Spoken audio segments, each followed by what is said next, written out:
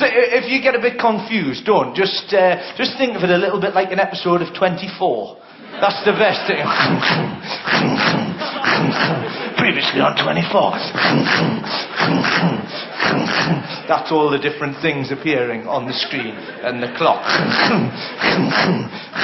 I know it sounds just like a, a little vole nibbling away at somebody's leg. But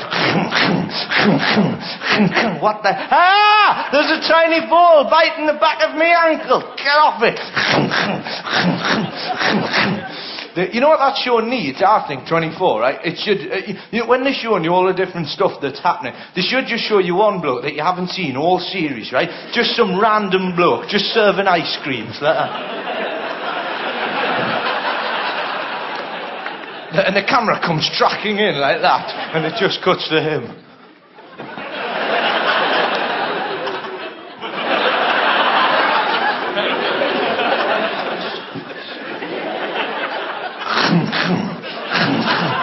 Can you hear that noise?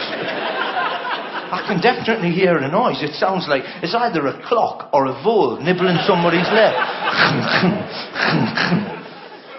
Look at the detail on that ice cream. Look at that. Oh, you don't get that with many shows. You know, a lot of shows, this is all you'll get.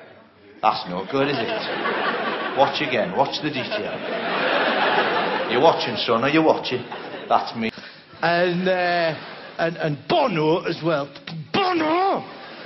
When's somebody going to turn round to Bono and go, "Oh, Bono, take them glasses off. You look like a twat." Do you know what I mean?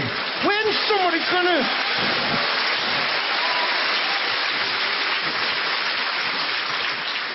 You're from Ireland. You shouldn't even own sunglasses.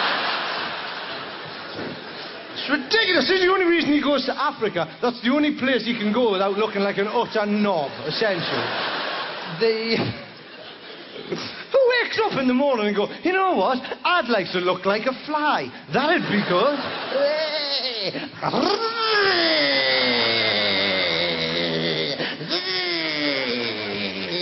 They're all going, where's Bono gone? Oh, he's over there on a lovely big bit of poo.